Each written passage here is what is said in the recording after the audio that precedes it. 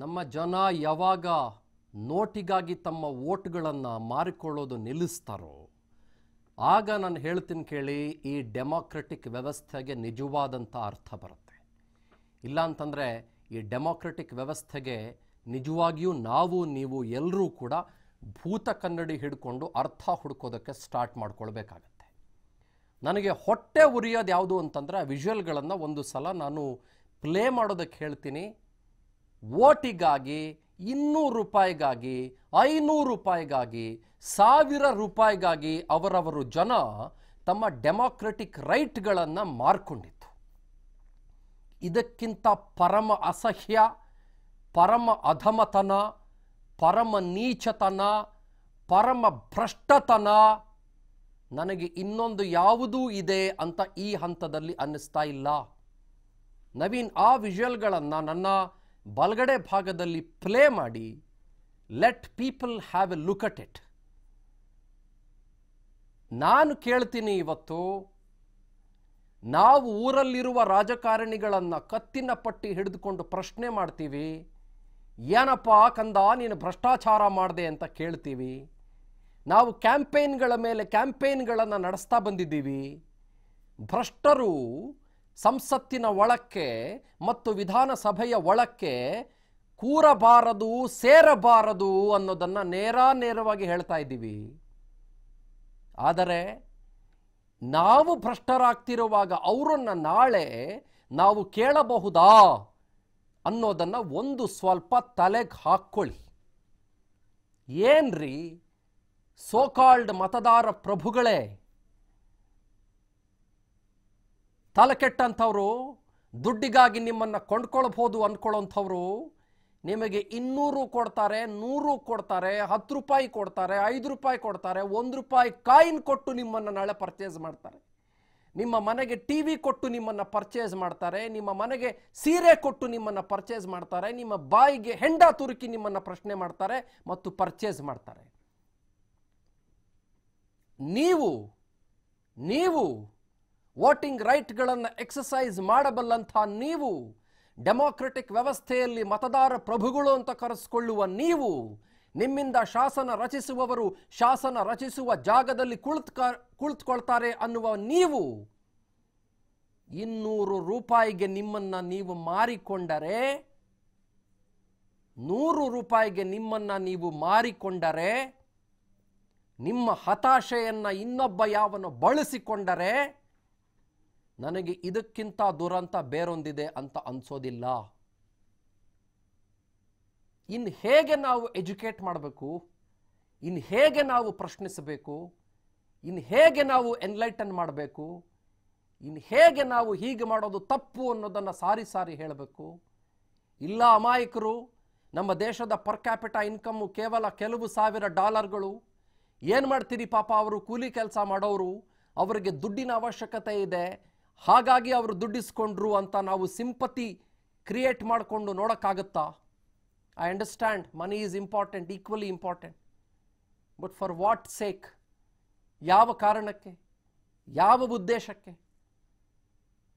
ಎಂಜಲು ಕಾಸು ನಾವು ಕೈಯಲ್ಲಿ ಹಿಡಿದುಕೊಳ್ಳುವಾಗ ಆತ ನಮ್ಮನ್ನು ಇನ್ನೂರೇ ಇನ್ನೂರು ರೂಪಾಯಿಗೆ ಪರ್ಚೇಸ್ ಮಾಡಿಬಿಟ್ಟ ಅನ್ನುವ ಒಂದೇ ಒಂದು ಪ್ರಜ್ಞಾವಂತಿಕೆಯ ಆಲೋಚನೆ ತಲೆಗೆ ಬಂದರೆ ಸಾಕು.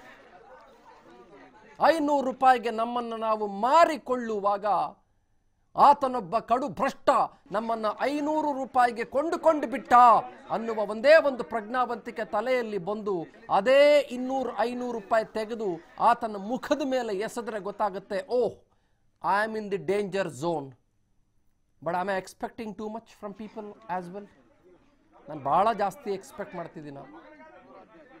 I talking I I making any sense while I talk I don't understand ನನಗೆ ಗೊತ್ತಿಲ್ಲ. ಅಥವಾ ನಾವು ನಿರಾಶಾವಾದಿಗಳಾಗಿ ಇದ್ಕೊಂಡ್ಬಿಡೋದಾ what's the election commission of Karnataka doing I will ask you straightly and directly today ಎಷ್ಟು ಜನರ ಮೇಲೆ ಇವತ್ತು ಪ್ರಕರಣ ದಾಖಲಾಗಿದೆ? Why is that there is no enquiry on this today election commission is a quasi judicial body ಅರೆ ನ್ಯಾಯಾಂಗ ವ್ಯವಸ್ಥೆ. Election commission ಅಂತ ಅನ್ನೋದು ನಾನು ನೇರವಾಗಿ ಇವತ್ತು ಎಲೆಕ್ಷನ್ ಕಮಿಷನ್ಗೆ ಪ್ರಶ್ನೆ ಕೇಳ್ತೀನಿ. ಯಾವ ಅಭ್ಯರ್ಥಿಯ ಪರವಾಗಿ ಯಾವನವನು ದುಡ್ಡು ಹಂಚ್ತಿದ್ದ? ಆ ಅಭ್ಯರ್ಥಿಗೆ ಈ ದುಡ್ಡು ಸೇರಿದ್ದ ಅನ್ನೋದಕ್ಕೆ ತನಿಖೆಯಾಗಲಿ, ಇದೇ ಮಸ್ಕಿಯಲ್ಲಿ ಚುನಾವಣಾ ಅಕ್ರಮ ಆಯಿತು ಅಂತ ತಾವು ಚುನಾವಣೆ ನಿಲ್ಲಿಸಿದ್ರಿ ಇವತ್ತು ಇದೇ ಚುನಾವಣೆಯ ಅಕ್ರಮದ ವಾಸನೆ ದೊಡ್ಡ ಮಟ್ಟದಲ್ಲಿ ನನ್ನ ನಿಮ್ಮ ಕಣ್ಣಿಗೆ ರಾಚ್ತಾ ಇದೆ. Why there should be an election on seventeenth ಯಾಕಾಗಬೇಕು ಹದಿನೇಳಕ್ಕೆ ಎಲೆಕ್ಷನ್ ಯಾಕಾಗಬೇಕು? ದುಡ್ಡು ಹಂಚೋದಕ್ಕಾಗಬೇಕಾ? ಸರ್ಕಾರದ ಮೆಷಿನರಿಗಳೆಲ್ಲ ಕೊಂಡ್ಕೊಳ್ಳುವ ಹಂತಕ್ಕಾಗಬೇಕಾ?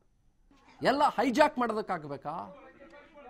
ಇನ್ನೊಬ್ಬನಿಗೆ ಅವನಿಗೂ ಐನೂರು ರೂಪಾಯಿ ಕೊಟ್ಟು ಪರ್ಚೇಸ್ ಮಾಡೋದಕ್ಕಾಗಬೇಕಾ? ಏ, ಬಿಡಿ ಸಾರ್ ಎಲ್ಲ ಎಲೆಕ್ಷನ್ನಲ್ಲೂ ಇದು ಕಾಮನ್ ಅಂತೀರಾ? ನಾನು ಕಣ್ಣಿಗೆ ಮಣ್ಣೆರಚಿಕೊಂಡು ನನ್ನ ದೇಶದಲ್ಲಿ, ನನ್ನ ಪ್ರಭುತ್ವದಲ್ಲಿ ಹೀಗಾಗ್ತಾ ಇರುವಾಗ ಸುಮ್ಮನೆ ಕುತ್ಕೋಬೇಕಾ ಐ ಆಮ್ ಪೇಯ್ನ್ ಆ ವೃದ್ಧೆಗೆ, ಆ ಹೆಣ್ಮಗಳಿಗೆ ಅರ್ಥವಾಗದ ಏನು ಗೊತ್ತಿಲ್ಲದ ಹೆಣ್ಮಗಳಿಗೆ ಇನ್ನೂರು ರೂಪಾಯಿ ದುಡ್ಡು ಕೊಟ್ಟು ಆಕೆಯ ಓಟನ್ನು ಪರ್ಚೇಸ್ ಮಾಡ್ತೀರಿ ಅಂತಂದರೆ ನಿಮಗಿಂತ ನಾಲಾಯ್ಕೆಗಳು ಬೇರೆ ಯಾರೂ ಇಲ್ಲ. ನೀವು ದುಡ್ಡು ಕೊಟ್ಟವ್ರಿಗೆ ಹೇಳ್ತಾ ಇದ್ದೀನಿ ನಾನು ಇವತ್ತು. You not even fit to be contesting in this election you not even fit to be contesting in this election I tell ಮನ್ಸ್ರೇನ್ರಿ ನೀವು? ದುಡ್ಡು ಕೊಟ್ಟು ಪರ್ಚೇಸ್ ಮಾಡ್ತೀರಲ್ಲ. ನಾನ್ಸೆನ್ಸ್ ಬಿಡಿ ನವೀನ್ ಟೇಕ್ ಔಟ್ ಸೊ ಯಾರ್ಯಾರು ಸ್ಪರ್ಧೆ ಮಾಡ್ತಿದ್ದಾರೆ, ಯಾರ್ಯಾರು ಸರ್ವೋತ್ತಮರು ಸ್ಪರ್ಧೆ ಮಾಡ್ತಿರೋರು, ಅವರವರ ಮುಖಗಳನ್ನು ಒಂದು ಸಲ ನೇರವಾಗಿ, ನೀಟಾಗಿ ನೋಡ್ಕೊಂಡು ಬರೋಣ, ಬನ್ನಿ. ಸೊ ಬೆಳಗಾವಿ ಲೋಕಸಭೆಯಲ್ಲಿ ಮೂರು ಜನ ಸ್ಪರ್ಧೆ ಮಾಡ್ತಾ ಇದ್ದಾರೆ. ಬಹಳ ಮುಖ್ಯವಾಗಿ ಆ ಚುನಾವಣೆ ಈಗ ನಡೀತಾ ಇರೋದು ಯಾವ ಕಾರಣಕ್ಕೆ ಅಂತಂದರೆ ದಿವಂಗತ ಸುರೇಶ್ ಅಂಗಡಿ ಅವರಿಂದ ತೆರವಾದಂಥ ಸ್ಥಾನ. ಕಳೆದ ವರ್ಷ ಅವರು ಕೋವಿಡ್ನಿಂದ ಮೃತಪಡ್ತಾರೆ All India Institute of Medical ಸೈನ್ಸಸ್ನಲ್ಲಿ. ಭಾಳ ಅನ್ಫಾರ್ಚುನೇಟ್ ಡೆತ್ ಆಗುತ್ತೆ ಅವರದ್ದು. ಅದಾದ ನಂತರದಲ್ಲಿ ಆ ಸ್ಥಾನ ತೆರವಾಗುತ್ತೆ. ಸತೀಶ್ ಜಾರಕಿಹೊಳಿ ಅವರು ಸ್ಪರ್ಧೆ ಮಾಡ್ತಿದ್ದಾರೆ. ಮತ್ತು ಸುರೇಶ್ ಅಂಗಡಿ ಅವರ ಧರ್ಮಪತ್ನಿ ಮಂಗಲಾ ಅಂಗಡಿ ಅವರು ಸ್ಪರ್ಧೆ ಮಾಡ್ತಾ ಇದ್ದಾರೆ. ಅದಾದ ನಂತರದಲ್ಲಿ ಎಂ ಇ ಎಸ್ನಿಂದ ಒಬ್ಬ ಹೆಣ್ಮಗಳು ಪಳಕೆ ಅನ್ನುವ ಒಬ್ಬ ಹೆಣ್ಮಗಳು ಅಲ್ಲಿ ಸ್ಪರ್ಧೆ ಮಾಡ್ತಾ ಇದ್ದಾರೆ. I am not going for the analysis at the moment ನಾನು ಅನಾಲಿಸಿಸ್ಗೆ ಹೋಗೋದಿಲ್ಲ. ಯಾಕೆ ಅಂತಂದರೆ I don't know there are few restrictions ಇಲ್ಲ. ನೀವು pre poll analysis post poll ಈ ಹಂತದ ಒಳಗೆ, ಇಷ್ಟು ಹಂತದ ಒಳಗೆ ಮಾಡಬಾರದು ಅಂತ ಎಲೆಕ್ಷನ್ ಕಮಿಷನ್ ನನಗೆ ಹೇಳಿಕೊಟ್ಟಿದೆ. ನಮಗೆಲ್ಲರಿಗೂ ಕೂಡ ಫರ್ಮಾನನ್ನು ಹೊರಡಿಸಿದೆ. ಇದೇ ಎಲೆಕ್ಷನ್ ಕಮಿಷನ್ನು ನಾನು ಮತ್ತೆ ಪ್ರಶ್ನೆ ಕೇಳ್ತೀನಿ. ಭಾಳ ಗೌರವದಿಂದ ದುಡ್ಡು ಹಂಚ್ತಾ ಇರೋರಿಗೆ ಏನು ಮಾಡ್ತೀರಿ ತಾವು ಅಂತ.